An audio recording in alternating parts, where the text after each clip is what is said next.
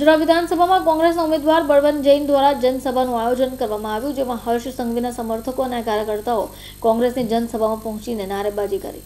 જોકે ભાજપનું આ પ્રકારનું ટોળું પહોંચી જતા સભા શરૂ થઈ જાય એ પહેલા જ કોંગ્રેસ દ્વારા આટોપી લેવાઈ.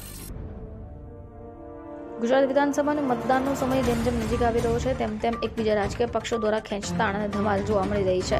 ગુજરાત વિધાનસભામાં આવેલા પાંડેસરા વિસ્તારના સંતાનગર ઉડિયા મંદિર ખાતે કોંગ્રેસ ઉમેદવાર બળવંત જૈનની જનસભાનું આયોજન થાય.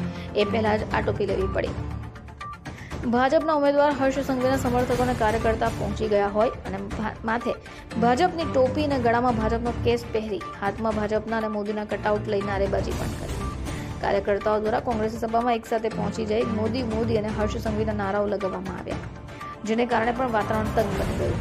મંજુરા વિધાનસભા કોંગ્રેસના ઉમેદવાર બળવંત જૈન માટે યોજેલી સભામાં ભાજપનો ખેસ પહેરી લગાવવામાં આવેલા નારાઓને લઈને ઉમેદવાર બળવંત જૈને જણાવ્યું કે આ રીતે કોઈની સભામાં જઈને જય શ્રી રામના નારા લગાવાય છે, મોદી, મોદીના નારા લગાવાય છે, જેને લઈને દેશના પીએમનું પણ અપમાન થઈ રહ્યું છે. લોકો રામ ભગવાનનું અપમાન કરી રહ્યા છે, રામના ચરિત્રનું અપમાન કરી રહ્યા છે. આવા તત્વો જે પણ હોય, ભાજપના કાર્યકર્તા હોય કે અસામાજિક તત્વો, તેમની સામે કાર્યવાહી થવી જોઈએ. રામ ભગવાનનું ચરિત્ર ખૂબ ઊંચું હોય, જેથી આવા લોકોએ રામનું નામ લેવાની પણ લાયક નથી. હું એક ગાંધીવાદી વિચારધારાઓ માનનાર વ્યક્તિ છું એક તરફ જુદા જુદા પક્ષના ઉમેદવારો હોવા છતાં ખીલદિલી વ્યક્ત કરનારી માનસિકતા હું ધરાવું છું. તો બીજી તરફ સામે આ પ્રકારના કૃત્ય કરનાર ભાજપના કાર્યકર્તા હોય કે તેમાં રહેવાની પણ લાયક નથી.